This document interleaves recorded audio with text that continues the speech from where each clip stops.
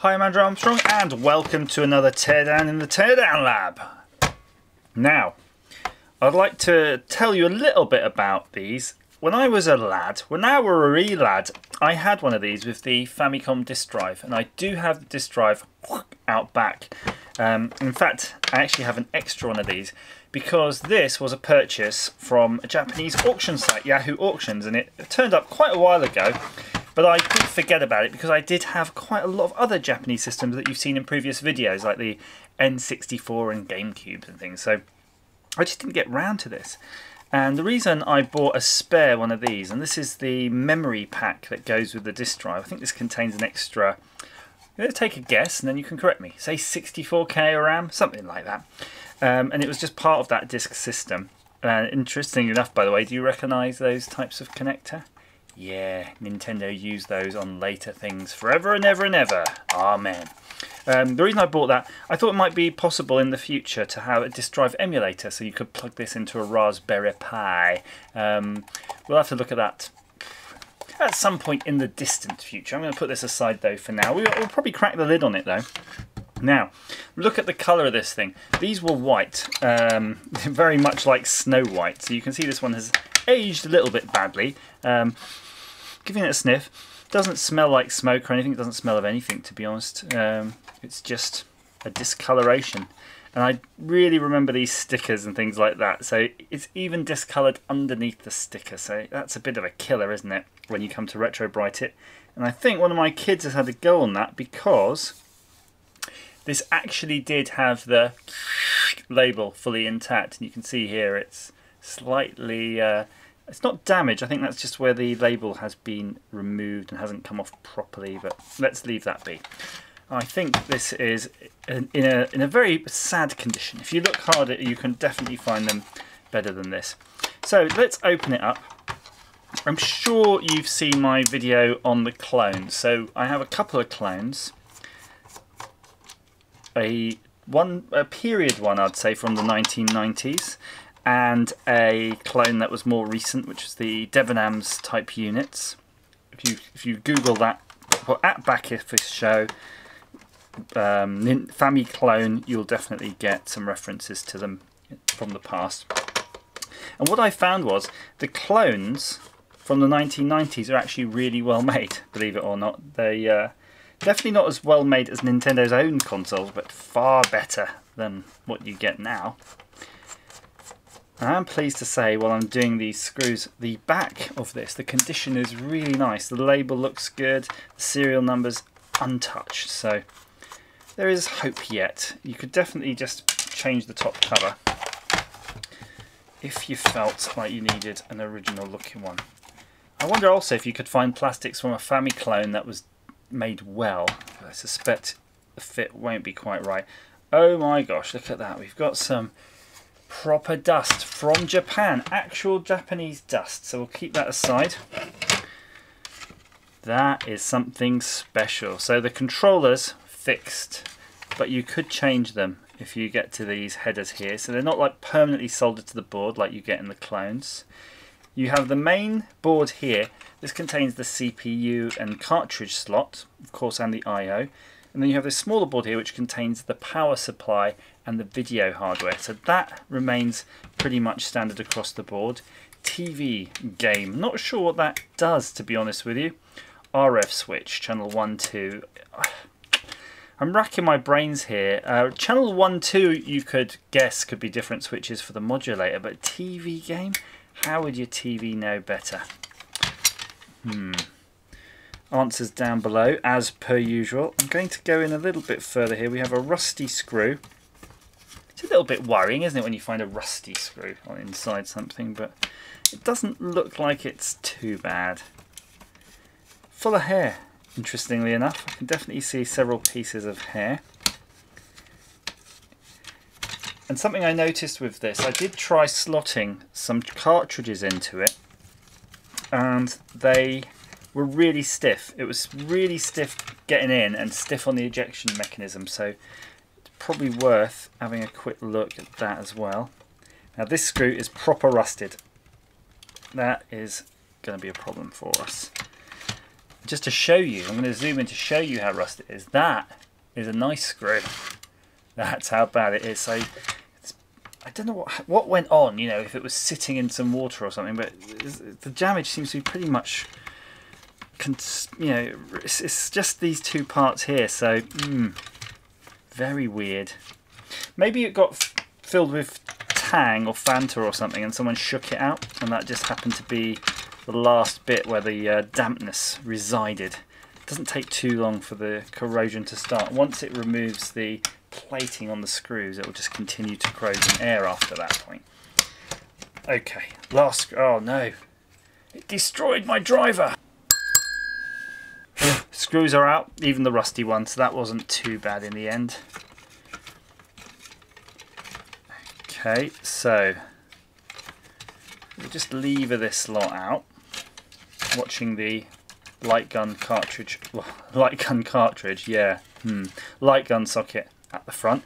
Um, mm, I'm seeing some heat marks here above the capacitor, that sort of dark area you get from the heat, but that's okay. Let's look here. Apart from some general dust and malaise, it looks pretty intact. So I'm just going to go ahead and unplug everything and then we'll have a closer look. Not much to it, is there, a Famicom? And if I'm not mistaken, Famicoms had better sound hardware than a NES. So this has even extra stuff that you wouldn't have on a NES. But let's start with the power supply modulator area. So there's your modulator. It's under this whole circuitry actually here. It's not a discrete cam like you often see in the uh, Western microcomputers, which were using the Astec type module. You have voltage regulation here going on, and it appears to be a uh, 7805, so 5 volt regulator, and it's using this whole can and a little additional heatsink. All this heatsinking. There's your power in. So you could work out your polarity if you needed to from that. It's a little bit crusty, but otherwise looking good. In fact, all of this looks actually okay. Apart from a bit of dust and a little bit of surface rust, I think we're going to be okay with those. And then you have this wire here, which goes off to the switch that's on the top of the case, and that's the power switch. So all power is controlled from here. And all you're going to get down these wires effectively, a couple of them are going to be power, and the rest of them are going to be video and sound. In fact, you've got one, two, three, four, five, six, seven. So what could you have? RGB, RGB, audio ground, audio, 5 volts and voltage ground. It could be something like that. And in fact, when I flip it over, he says, it does have markings on it. So let's see those markings here. So you have, it says ground, VCC, two lines for that, B plus, whatever B plus is, A, maybe audio, G for ground, and V for video. So, hmm, it's well, that would mean it's probably a component video. Oh, sorry, a composite video. If it is, that's really interesting because it means you could bypass this regulation and make a composite output on it. Interesting. Something to think about in the future when we start trying to get this board brought up. Now let's have a look at the chips on there. And now I'm not going to be particularly good at guessing chips so let's see if the board tells us what we need to know. In fact, it does a little bit. It says here 2K times 8 SRAM, great. And then it says here, this is the 74HC737. So what is that? Just some sort of a logic chip. And then another SRAM chip right here. And then moving down, we have this RP2C02G, then an RPA 03G. So those probably team up together to do a bunch of the custom stuff.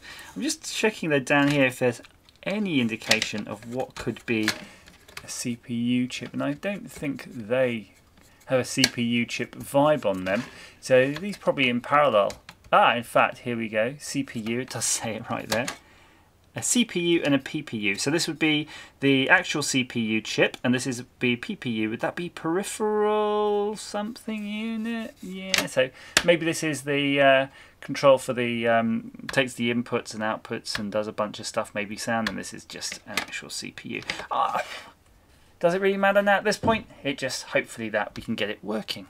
So let's have a look inside that RAM unit for the disk drive. Here we have the Family Computer Disk System HVC023 module.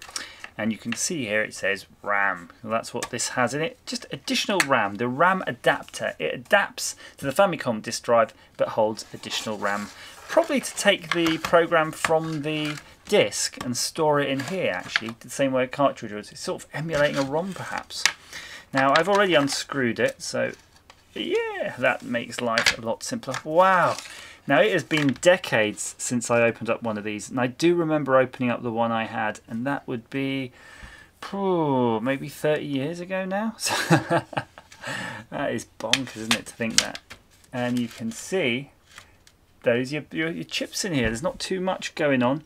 It doesn't seem to be marked as nicely as the other units. We're going to have to guess. But we do see here, hmm, SRAM, there you go, the SRAM 8K times 8.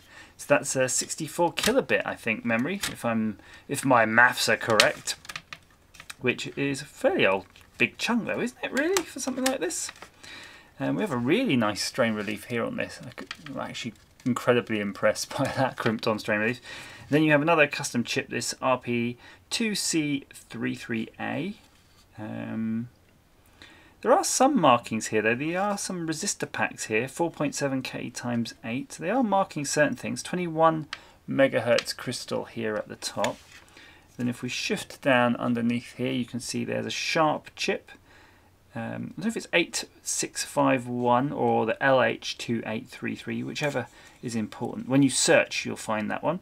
And then HD14069UBP. and that is all she wrote and that is the cartridge adapter right there look at that it's a beautiful work of art there and that's all it is it's going to have its own logic in here I think if you have this plugged in if you have this plugged in without the disk drive, I think you still got it booted up into something. So some of that is a ROM. I mean, it could be one of these could be actually a bit of ROM here, which contains the programming this has. It definitely had certain functionality, and I'm sure it helps facilitate the file loading and saving. So there could be a little bit of a API type affair going on here, an interface to that disk drive. HVC FMR04 1986. Oh boy, I feel old. Comments down below. Uh, stay tuned in the future where we start playing a little bit more with these. And as ever, thank you for watching.